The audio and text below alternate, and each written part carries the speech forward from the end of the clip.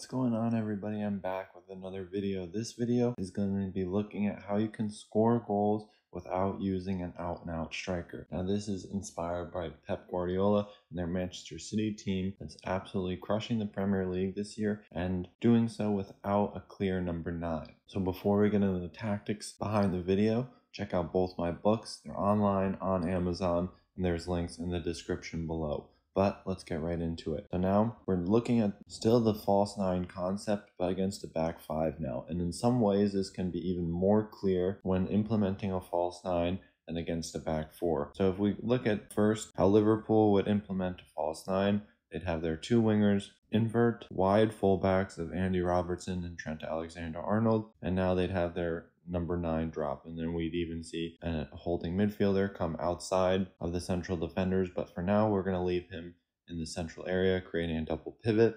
And now we'll have freedom from the fullbacks. Our central defenders will stagger. And let's put one of our holding midfielders just in the half in the half space to create some staggering in the first line and second line of build up. So from here, we have our inverted wingers, and they're occupying each of the wide central defenders as now the wingback become oriented towards the fullbacks of this Liverpool team. So now what we are left with is an attacking midfielder and then our number 9 dropping deeper. So he can often take advantage of the pinning of the wide central defenders. And this is crucial because the wide central defenders on the defensive team are the players associated with jumping. Now, the most central defender, he is more of a cover player in behind the two wide center backs and doesn't jump as much because of the lack of cover he he has when he jumps into these areas. So when he jumps the most central defender into these areas, there's a lot of space left in behind which can be exploited and would be very dangerous for the defensive team to ignore if this most central defender were to jump. But now with the wide center backs pinned, we have a more clear route to progress. So now the structure we've created here has our number 9 as the focus, dropping deeper, taking advantage of the pinning from our inverted winger and we can then create routes to find this player free between the lines and using the space created by his teammates. So this is more of a typical Liverpool type use of the false nine and it puts players like Mane and Salah between defenders and in more narrow positions closer to goal. So when the ball does arrive, these players are right there to make dangerous runs in behind or on the weak side, they have Mo Salah looking to get in the half space, going towards goal on his left foot. So by sacrificing your number 9 into a deeper position, it creates the opportunity for two other players, players to invert and get closer to goal scoring positions. So it actually increases the amount of players you have in threatening areas. Now for Manchester City, whether they go with the back four or an off-centered back four, which would then create more of a back three and have an inverted fullback to create more stability. Either or, the concept of this false nine is the same. So let's go with our back three just to show some variation with our inverted fullback. Now the reason why they're still so effective without a central forward is because of the positions they get themselves in and how they use players' qualities to the best of their abilities. So we have a player like Kevin De Bruyne on this right side, often fanning out into this deeper position. And from here, the midfielders can shift with him to then maintain the stability and presence in the half space,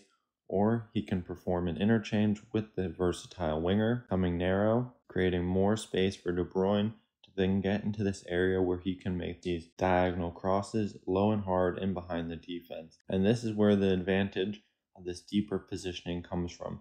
Oftentimes, defenders will be jumping, cheating a little bit higher towards the attacking players, which allows the attackers to start their run from a deeper area and make these runs in behind and create dynamic advantages while creating space in behind for these passes from Kevin De Bruyne. So, by starting further from goal, they bait the defenders to jump higher, creating more space in behind to then access through diagonal passes. And then also, we'll see Manchester City a lot of the times progress through the wide area, and look to target the half spaces entering inside the box. Now, these are often referred to as assist zones because of their high percentage chances that they create. So, we can look at how a defense might respond if Manchester City were to get into this area when using a false 9.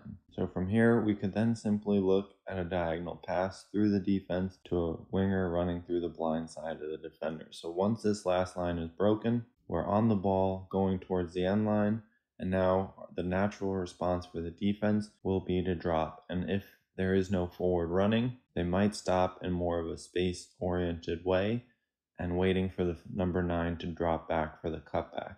So this can be easily read by the defenders and with a free player at the near post, a man marker in the middle, and then the weak side player playing higher can be easily defended. But now we can look at different runs that are possible because of this false nine. The attacking midfielder on the weak side can curve his run to go to the back post for a low hard cross, and by playing on this weak side, he plays in the blind spot of the defenders making him much harder to mark. Our number 9 has a few decisions. He can either go to the near post, pushing the defense back, allowing for our strong side attacking midfielder to make the run towards the cutback, putting him closer to goal. So the key areas for the goal scorers are the spaces directly inside the frame of goal in between the defenders and the goalkeeper.